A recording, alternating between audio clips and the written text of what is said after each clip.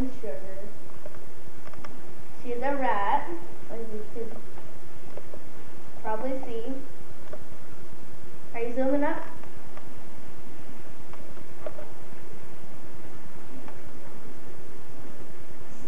She, she looks very excited to be on the camera. She is very excited to be on the camera. She has a little bit of white in her eye. Poor thing. As you can see, she has a little, she has a little bump right there. We're gonna show all the Yeah, let's, let's show all those. That's very lovely. We want to show her butt while we're at it. There's her butt.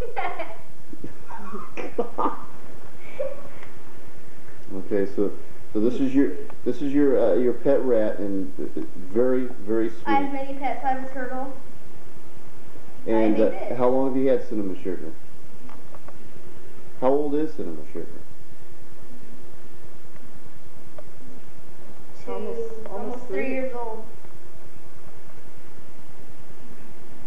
I have had her for since last summer. No, Yeah. The beginning of the summer. yeah, the beginning of the summer.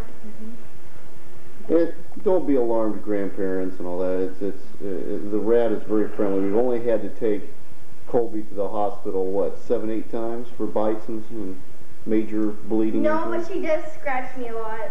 All right. Well, anything else you got to say uh, before we uh, sign off? Uh, You just want No. to stick the tail in your nose, huh? Okay. It, it, it, it wasn't necessarily in my nose. Well, we're gonna have to say see you later then. Oh, don't, don't, don't, don't, don't fade out yet. Is, is it fading out yet? Yep, there you go. Because he knows what he's doing.